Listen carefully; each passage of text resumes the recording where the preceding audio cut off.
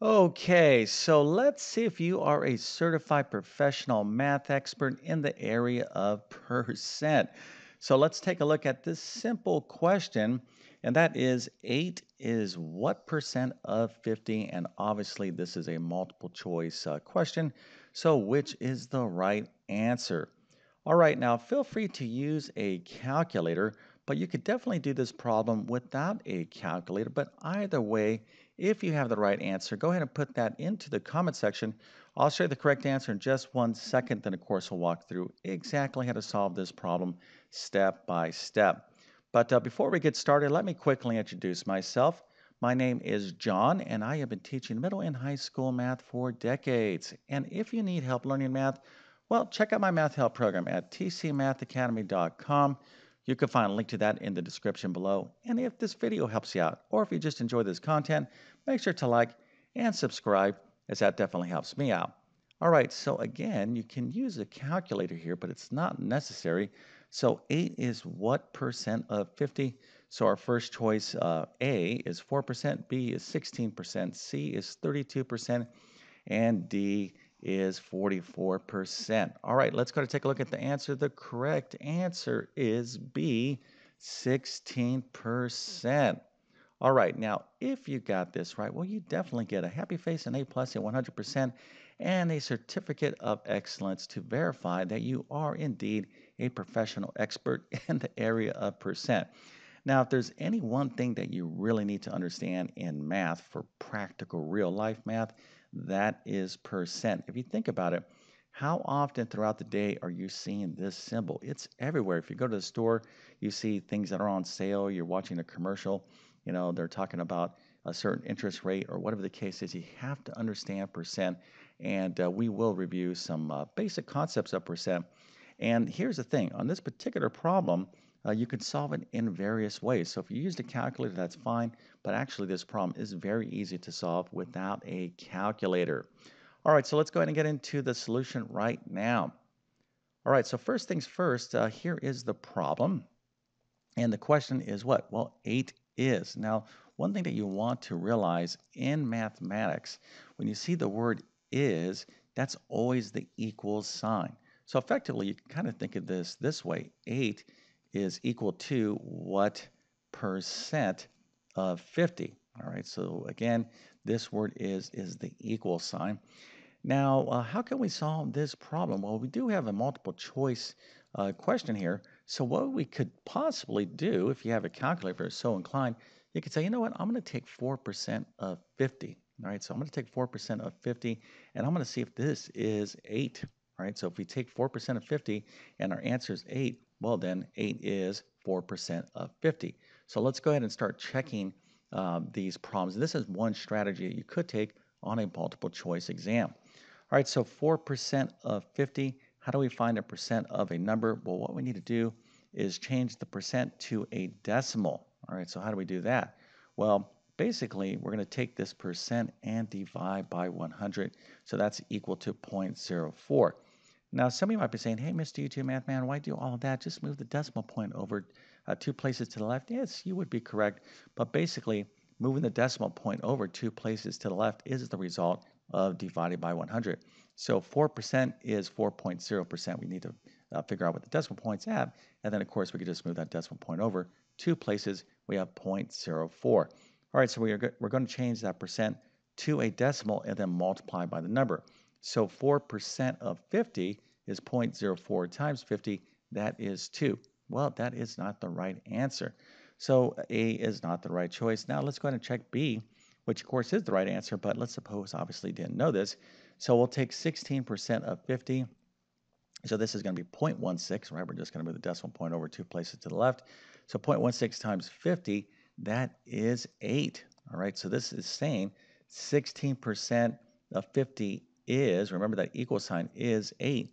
Or another way to say this is 8 is 16% of 50. So we kind of go back to our question.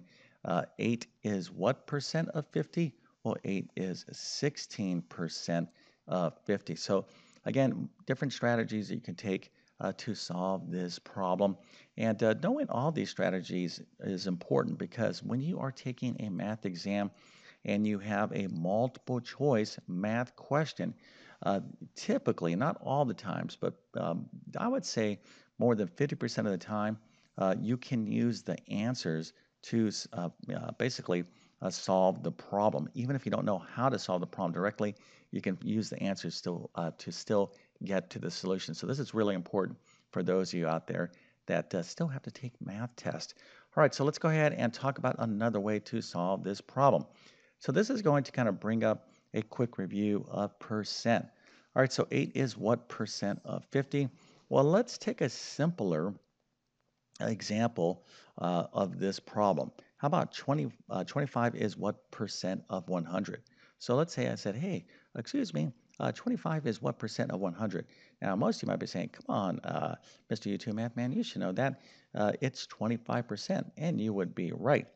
But what's going on here? Well, how do we get to this answer? Because 25 out of 100, so in other words, you know, if I was to give you a quarter out of $1, right, which is 100 pennies, well, that's 25% of $1. So I think most people uh, realize that, but technically what's going on here is that we are comparing this number to 100, right? So 25 over 100 is equal to the uh, decimal 0.25. It's also equal to the fraction 1 fourth. But we can just go into our calculator, take 25 divided by 100, or just say, oh, this is 25 hundredths. So we have 0.25. So uh, here we have a decimal, but we want a percent. So we're going to do the reverse. Remember when we uh, went from a percent to a decimal, we divided by 100 to go from a decimal to a percent. We multiply by 100. So 0.25 times 100 is 25%. Okay, so I think most of us hopefully understand it, but there's another great little aspect to what I'm doing here, and that is I'm giving you the actual technical definition of percent. So if I asked you, hey, what is percent? What's the definition of percent? Well, the definition of percent is when we compare a number to 100. Okay, so when uh, we have a fraction and the denominator is 100, the top number is in fact the percent. That is the definition of percent. All right, now let's take a look at another version of this problem that's a little bit more interesting. How about this? 25 is what percent of 75? Now here uh, we have a different number other than 100, so we need to kind of use another model of percent, and that is some part out of a whole. Okay, some part out of a whole. So over here, uh, we have uh, 25 out of 100. Well, this is the part, and this is the whole, and uh, the whole just happens to be 100. Okay, but basically we're comparing a part of something out of the total amount of something, basically, you know, pretty much like a pizza um, uh, slice of pizza here, four slices, if you will. So how you know, if you want one slice, let me kind of start here. I'm uh, tripping up on my words. So let's say I have a pizza with four slices. All right, so there we go. All right, now one slice is what? Well, this would be one part out of a total, okay, whole of four. So one fourth, which of course, uh, one fourth is the same thing as 25 or 100, which is 25%.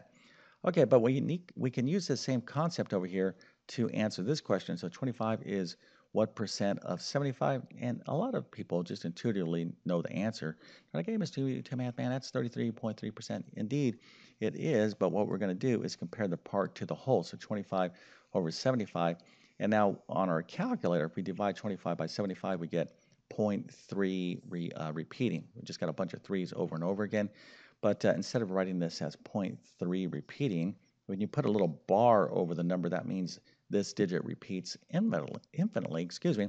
But uh, the reason why I'm kind of out, writing out these digits is because we want to express this decimal as a percent. So we have to multiply 100 uh, by 100 or move the decimal point over two places to the right. So we get a uh, so we get 33.3 percent uh, is the uh, percentage. 25 is uh, what percent of 75? 33.3%. Okay, so hopefully this all makes sense. And now we can use this knowledge to solve the problem in another way. All right, so let's go ahead and do that right now. So 8 is what percent of 50? Well, let's go ahead and do it this way. We'll do it the long way, then I'll show you the easy way without a calculator uh, in just one second. All right, so 8 is what? Well, this is the part, right? So we're asking uh, uh, this is the part again, this is the whole. So we've already looked at two examples of this problem. So we're going to compare the part over the whole. So 8, excuse me, 8 over 50. So we take 8 divided by 50 in our calculator. We're going to get 0.16. And then, of course, we can multiply by 100 or move the decimal point over two places to the right. We get 16%, which is the right answer. All right, so um, now I'm going to uh, kind of save the best for last. And my voice is kind of cracking up here, so I got to rush. Excuse me. Okay, so here we go. So we did, um, you know, we kind of covered uh, a lot of different aspects of percent. And I wanted to do that because percent is so critical. But remember, the definition of percent is when we compare a number by 100. All right, so when we compare our 8 over 50, let's say right here, okay, so we're, this is the, we're going to compare the part over the whole. Now, if we have a calculator, you can just divide 8 uh, divided by 50 and we get the decimal. But let's go ahead and do this right here. So we're going to compare 8 over 50, but you're saying to yourself, hey, that Mr. YouTube Math Man said if I compare this number to 100, that's the actual answer.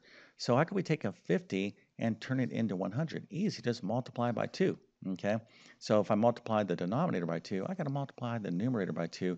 And guess what? We end up with this equivalent fraction, 16 over 100. Okay, now the whole reason I did that is so we have a denominator that is 100. So 16 out of 100 by definition is 16%. All right, so again, if there's one thing that you need to understand in mathematics, okay, uh, and this is something that I've heard years and years and years, you know, decades of teaching is why I have to learn, why do I have to learn math?